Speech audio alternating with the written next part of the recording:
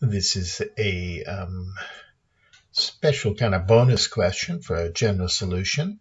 Um, it's going to help you. There's there's a f- few different types of questions that we, we get and we can work with in finding general solutions. And one is the special tangent trick, and uh, it'll it's going to help you with one of the questions. So here you go. Here it is. Determine the general solution of 2 sine theta minus 3 cos theta equals 0. And you go, oh, wow, this is hard. But all you have to do is divide everything by cos theta. That's your first step. See, cos theta divided by cos theta is minus 3, is 3. It cancels here, and you just get 3. But sine divided by cos is tangent, and now you have a problem that's much easier.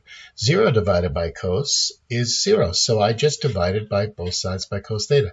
Then you add 3 and divide by 2, and you've just about got your answer.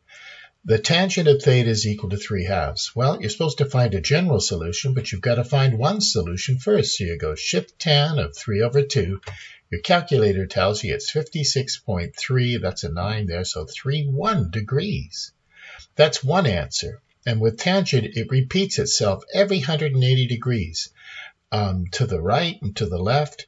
Where k is an integer, you could add 180 or 2 times 180, 3 times 180 or minus 180 or minus 2 times 1. Anyways, k is an element of the integers. And there it is.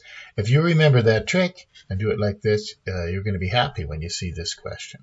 Okay, well, that's it.